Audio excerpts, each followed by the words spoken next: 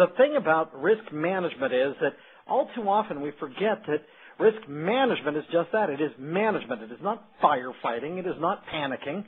It is actually having a plan, actually having a game plan. And, and, and it falls in line with those of us who actually fall into these categories. Some of us are this anal retentive. We are those folks who have a, just a passion for process and documents and, and sharing and making sure that other people are aware of the bad things that may happen to us and the impacts they may cause. The true risk management plan, and let me rephrase that, the true risk management plan, and notice where I put the emphasis on that, risk management plan is rooted in these three elements.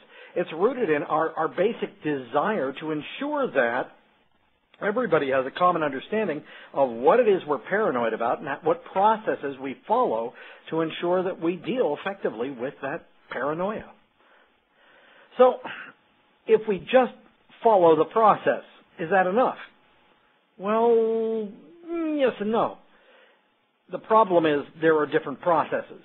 The PMBOK process, for example, is we plan for risk management, we identify, qualify, quantify, develop responses, implement, and control those responses. Welcome to the PMBOK. That's where it takes us in terms of risk management plans. But the sad thing is, is that it doesn't recognize the dichotomy that exists across our various projects. Now, most of you fall into that kind of category, or at least similar projects too, the one on the right here, the software type. And it gets down to, well, how big is big?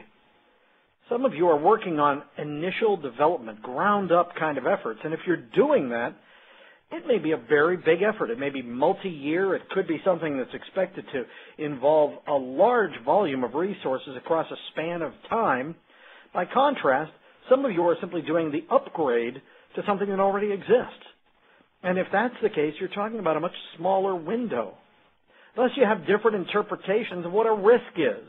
What is it that, you know, really matters to you? What is it you're paranoid about? And look at the last bullet here on both of these columns. What happens if we fail? That's always the question. Now, risk always ends with the really ugly question of, and then you die. Um, the question with what happens if we fail, we, we would hope that that never ends with, and then you die. But the reality is, we have to ask ourselves, are there lives at stake here? Some of you are like, uh, Carl, I'm doing an upgrade to a documentation program. I do not think there are lives at stake here. Well, fine. How nice to be you. But there are also people out there who are doing projects for medical equipment and so forth. Those people who are doing those same kinds of integration efforts or programming efforts, those people have basically that what happens if we fail question answered with, and then you die. And we need to make sure that we understand the parameters and just how big our risk management plan is, how important it is when it comes to developing this information. This all kind of works together. What has to be in a good risk management plan, and again, I'm going to be hammering that throughout our time together. It's a risk management plan. And the first thing is the process. And we're going to talk about each one of these elements, but we're going to talk about all of these, and all of these components need to be in there so that we have some good sense of what goes in the various and sundry tools, including things like the risk register.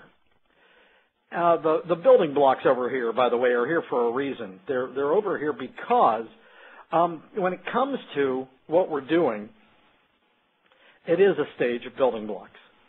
And any of you who have ever played with your own kids' building blocks, you know that you've tried doing some really fancy stuff by putting the caps and the, and the long tubular-like things, putting those down on the bottom to make long columnar structures, and the thing collapses inevitably.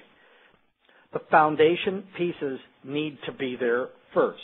You need the big flat bricks.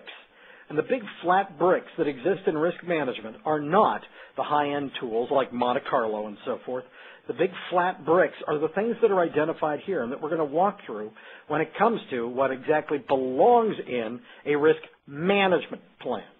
That's what we're going to be talking about today, and it starts with process. Process and language. You need at some point to have not just a kickoff meeting, but a risk kickoff meeting. And actually, it's kind of compelling. Uh, risk kickoff doesn't happen at the kickoff meeting. The reason being is the original kickoff meeting for any project was designed to get people enthused and energized. Risk generally does not get people enthused and energized. In fact, the risk kickoff is to let people know, here's what I'm afraid of, and I want to know what you're afraid of. And, and the third bullet there, permission to speak freely. People have to know they can talk openly about risk. Now, I'm about to head out on travel this afternoon, and, well, I'm, I'm going by train. And I want you all to think for a second, what's the bad thing that could happen to me on that train? Now, at least one person out of the 250 plus in attendance here had it in their head, your train could crash and you could die. We're real reluctant to say that out loud. We are. We're reluctant to say that out loud because, don't say that. It might come true. Well, it's, for one, it's not coming true. Trains are one of the safest forms of transportation. But for two, we're afraid of creating self-fulfilling prophecy. So we need to have a risk kickoff meeting. We need to have a structure to let people talk about risk. That means we have a structure. We tell people, look, right up front, the reason we're doing this is so that we can preclude this stuff from happening, not so that we can point fingers and say, who would allow this to happen? What evil could befall us? We're not going down those roads. This is a positive event. This is upbeat. This is something generally good, good, good. And, and it's very hard to get people on board with the notion that you're actually working toward an, an, a universe of planned clairvoyance, where you actually have a structure to be the smartest person in the room to be the person who is able to predict, well, this stuff might happen to us.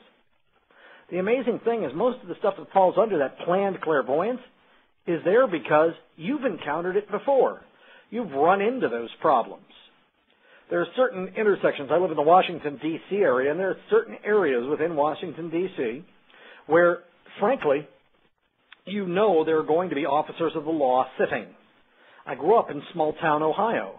In my small town, there were certain spots where you knew officers of the law would be sitting in their cruisers just waiting for the opportunity to bring in a little more revenue for the local community.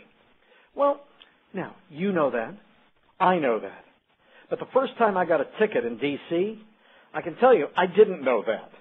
And I went into work the following day and I said, oh, geez, I was driving down Glebe Road and I got a ticket. And they said, where? I said, down by military. And one of the folks at work said, oh, the cops always sit there. And I was like, oh, well, thanks for sharing. Nobody had warned me. Nobody had let me know. It would have been awfully nice if I had had the heads up that that was one of their favorite speed traps. But nobody let me know. And now, you know. Glebe Road down by military, there's always a cop sitting there. But just so you know, it's, it's planned clairvoyance because somebody somewhere has experienced it in the past. So the first thing we have to do is give people license to speak freely and the environment to speak freely. Now you can do this with brainstorms, but let me suggest to you that brainstorms are often counterproductive when it comes to risk. The reason being is because it forces people to say their negative fantasies out loud. Instead, let me suggest to you that the best risk kickoffs, the best opportunities are written rather than verbal. And the reason being is because there's a little more anonymity to it, and that makes people a little more comfortable with having the risk conversation. The risk conversation goes to the, uh, the second half of this, and that's language. Language is everything when it comes to risk, and it's important to make sure that you get people to speak risk well. If you can't get them to say risk statements well, you're toast. And the reason you're in trouble is because, frankly, you won't know what the risks are. I live in, as I said earlier, in the Northeast, and, and one of the things that was interesting, just last night, we had some major, serious uh, thunderstorms plow through here.